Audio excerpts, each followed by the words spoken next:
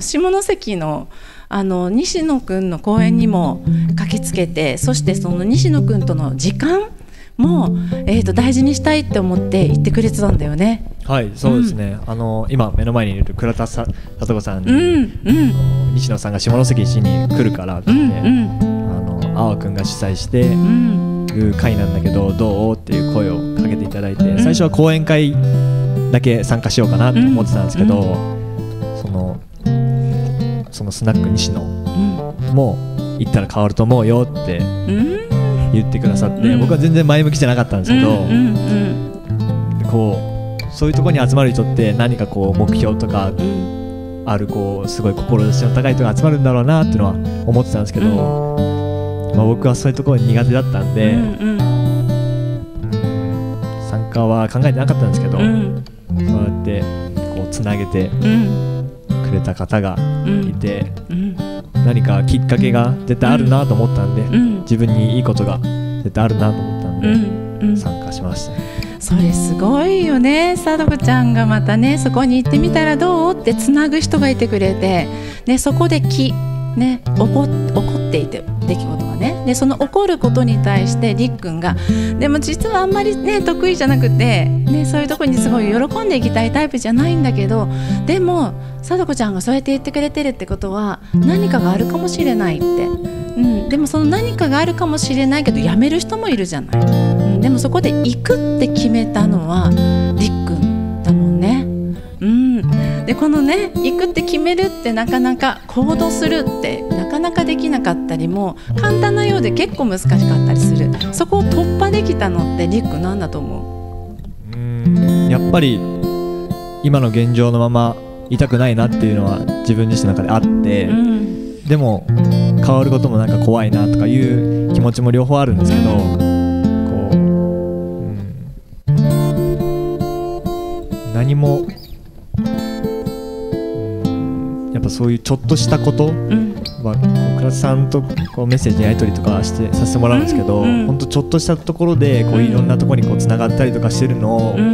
目の前で見てると。あそこに何かきっかけが絶対あるなとか、うん、こう思わせてくれるんで、うん、本当その時も電話をかけてきてくれてですね、うん、絶対こうだから行った方がいいよっていうのをすごいこう言ってもらって、うん、本当そのにスナック西野に行けたのも本当倉田さとかさんの、おかげですね。さっちゃんも涙が出ちゃう。今日なんかね、みんなが嬉し涙が出ちゃう。りっくんをね囲みながらね。うんうんうんうん。あのまあ私はあのえっと心に関わるお仕事をさせていただいてるんだけど、あの人間にはその人が持っているこう波動の空間っていうかね、うん、約、うん、半径2メートルぐらいで持ってるなと思ってて、でその人がどんなハートで生きてるかでその空間がえっと、プラスのエネルギーとマイナスのエネルギーの配分が変わるなって思っていて、うん、でりっくんが行くって選んだそこの空間って、まあ、高い志を持ったり今からチャレンジをしていこうとしている人たち。となるとその人の空あの持っている波動のエリアがあってでその大きなドームの中にりっくんが入るじゃない、はい、うん、そうするとりっくんのその空間がその人たちの高い志のだったりいいエネルギーのプラスのエネルギーがいるだけで実は入り込んじゃうんだよ。うん、だからりっくんがそこに行くって決めなかったらそのエネルギー感化はもらえなかったしでもそれは気づくもの、えーと、目に見えてはっきりと、うん、白い宝物もらいましたとかこんな風な商品もらいましたとかじゃないからそれをあこんな感化俺受けたなってこれを俺の力に変えていくぞって思った時にそのエネルギーがリックのものに。りっくんはそういう意味では、えーと、今こうちょっと感じてみた時にそこの空間にいた時にどんな熱を熱量というかねどんなものをもらったような気がする？探してみたら。参加してる方の中には、うん、経営してる方だったり、うん、アスリートの方はいなかったんですけど、うん、やっぱりこう僕もアスリートとしてこう高いところを目指す、上を目指すというところではこうみんな共通するところがあって、こうこう今思うことは本当やっぱり言ってよかったなっていうのをただそれだけを本当に思いますね。うんうんうん、エネルギー量にね触れられたこと、はい、うんうん